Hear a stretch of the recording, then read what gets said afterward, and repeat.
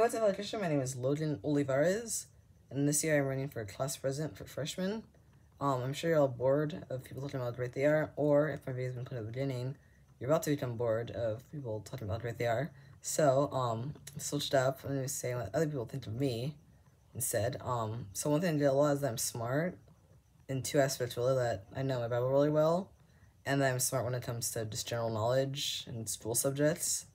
Um, which obviously is important to be smart when you're class president or really any um, student council member because you have to be knowledgeable enough to make the right decisions for your school. Um, I also get that um, I'm easy to talk to and I'm kind a lot too.